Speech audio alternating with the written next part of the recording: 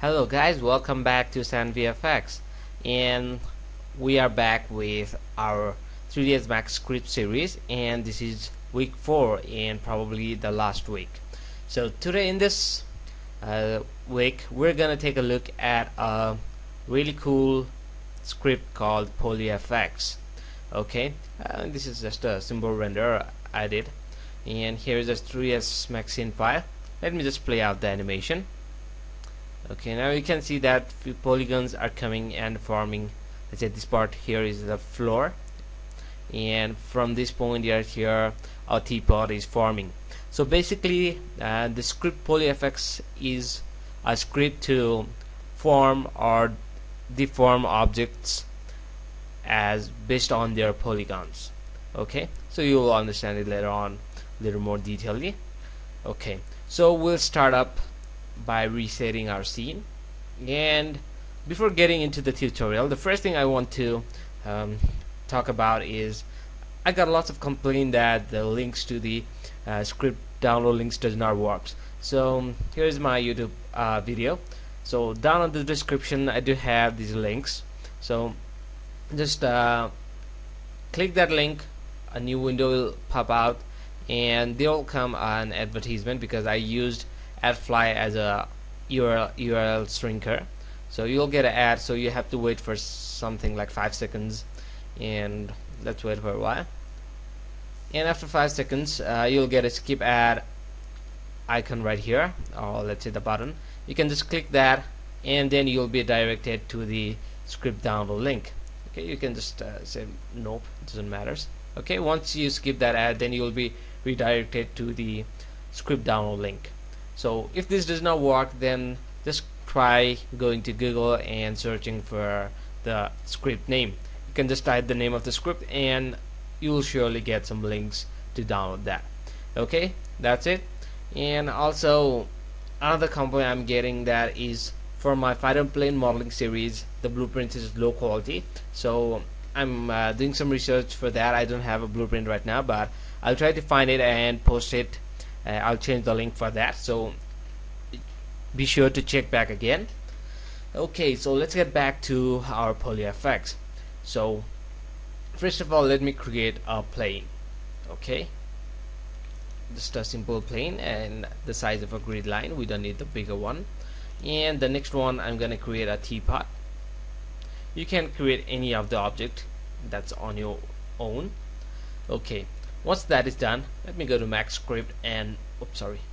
Max script and run script and polyfx okay you can get both the light version as well as the full version. Uh, the link will again be provided in the description below so you can easily go or if the link does not work you can just do a quick Google search and you'll get that. Okay so looks a little complicated but there's nothing much really. So the first thing um, I cannot create both the object at once so I need to do it individually. So first of all let me play on with the teapot okay? Let me pick the object pick object and click the teapot. And you can see that my object is now added to my polyfx uh, object okay? And then I can just simply hit create animation.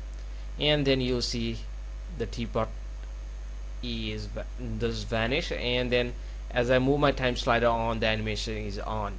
Okay but I don't I just have 100 frames so the animation is not complete so I'm just gonna increase my timeline to something like 800 okay and then I can see the polygons are forming my teapot okay that's simply cool. Okay and now you can adjust all these options in real time.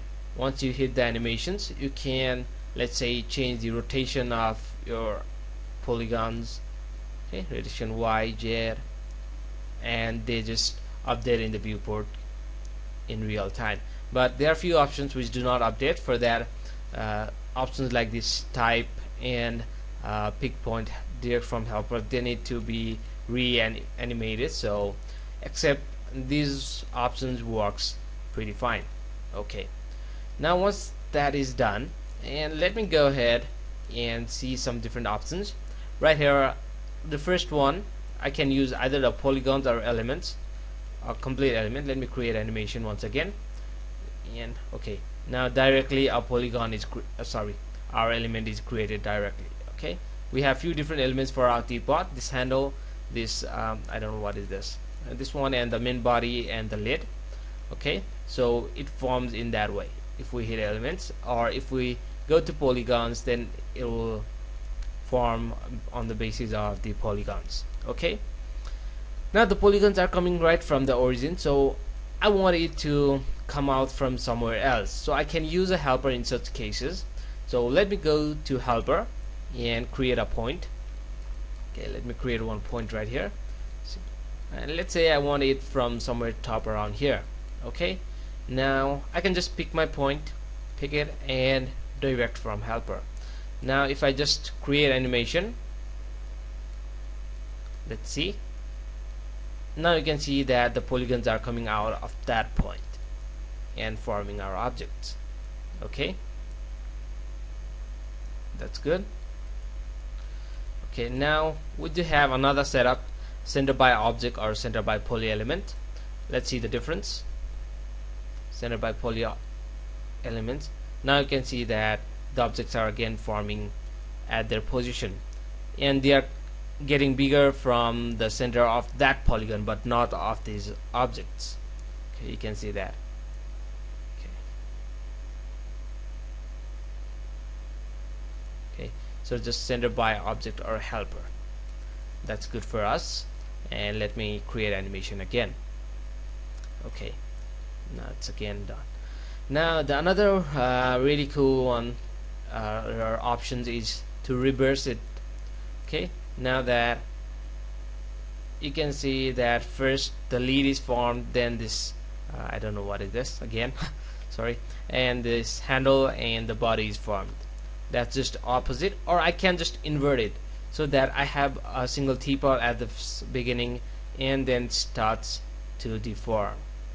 Okay? Those are the few options and you can reverse and invert at the same time so that the lead will deform first and the handle and then only the body. Okay? okay. I don't want both of them. So this is good for me. Now we do have our shell options right here so that we can make our polygons a little thicker. So let me hit this mode shell button.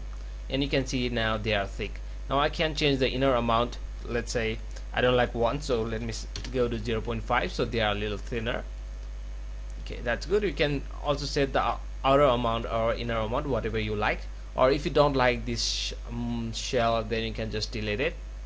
Or again hit mode shell to get that on. Okay? You have some random rotations as well for some variations but that's not I usually don't like that. It gives some really chaotic feel to this uh, forming so I hate that.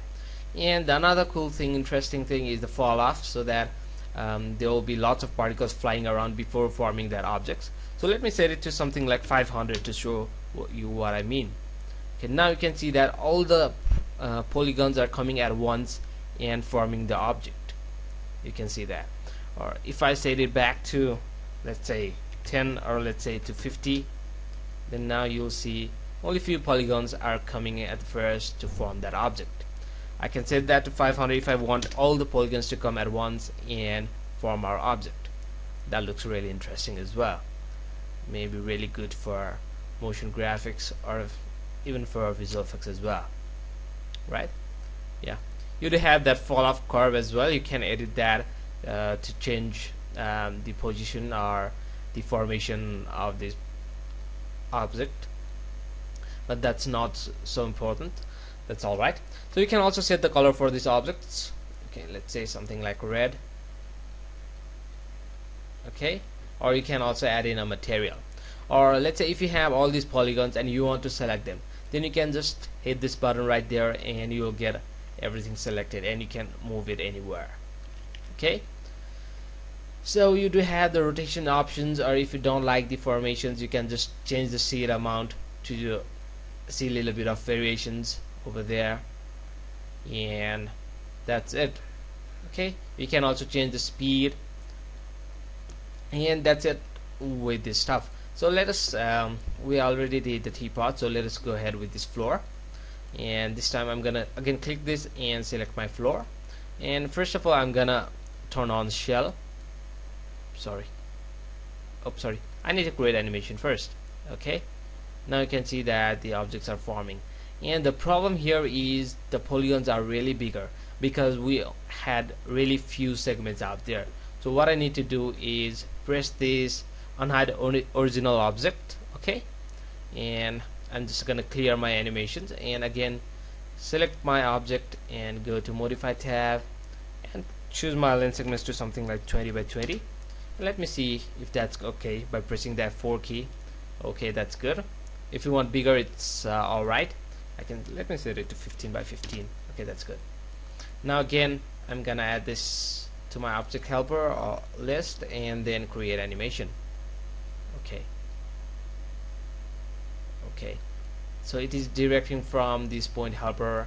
So I'm just gonna untick this and center by polygon element and create my animation. Now you can see they are forming right at the floor okay? Now the fall off is too much for this one so I'm just gonna set my fall off to something like 50 okay that's good.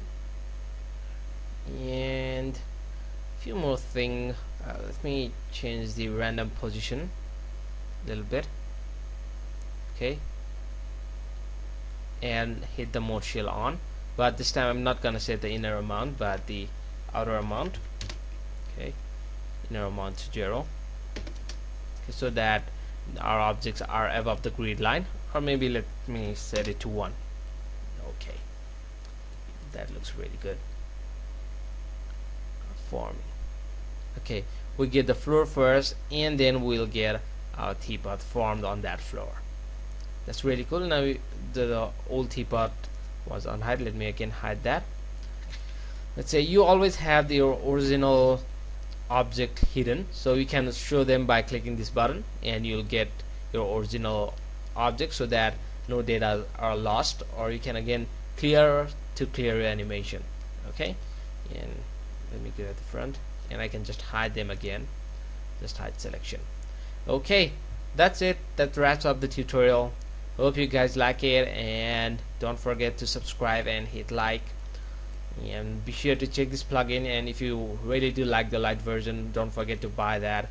Mm, the developers got a lot of stuff to create this and I'm using the 2.6 version. Uh, 3.0 is available right now the newer version so you can just try that one out. It's got a little more possibilities than what we have right now. So thank you guys for watching. Have a good day. See you then